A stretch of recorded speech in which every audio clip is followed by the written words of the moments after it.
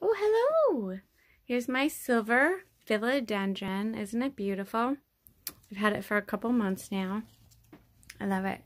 Don't judge, all right?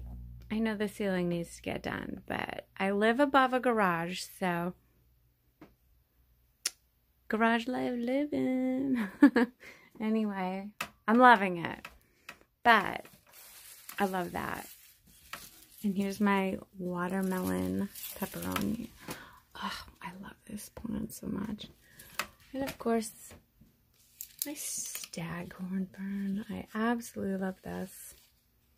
But anyway, I just wanted to check in really quick. I know I have um, zero followers. I wonder why. anyway, I hope everybody's having a great day. Enjoy.